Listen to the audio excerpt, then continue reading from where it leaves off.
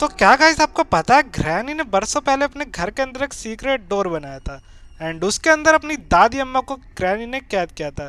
तो आज हम उस डोर को खोल के ग्रैनी की दादी अम्मा को आज़ाद करेंगे।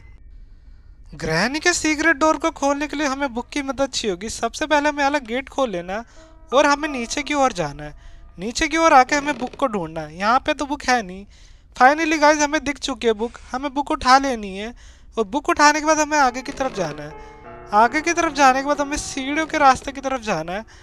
सीढ़ियों के रास्ते की तरफ़ आने के बाद आपको सीधा ऊपर की तरफ़ जाना है और ऊपर की तरफ़ आने के बाद आपको ये वाला डोर खोल लेना है। डोर खोलने के बाद देख रहे हो आप ये स्विच दिखाई दे रहा है, खून वाली पेंटिंग के ऊपर, ये स्विच को ऑन कर देना ऑन करने के बाद आप देख सकते हो कि वो सीक्रेट डोर खुल चुका है। सीक्रेट डोर खोलने के बाद यहाँ पे बुक सिंपली रख देनी है। बुक रखने के बाद देख सकते हो, गाइस, ग्रहणी की दादी माँ बेड़ियों से आज़ाद हो गई है। और सिंपली आपको पीछे की तरफ़ आना है और थोड़ी देर यहाँ पे वेट करना है। तो फाइनली आप लोग सब देख सकते हो, ग्रैनी की दादी अम्मा ग्रैनी की कैसे आज़ाद हो चुकी है।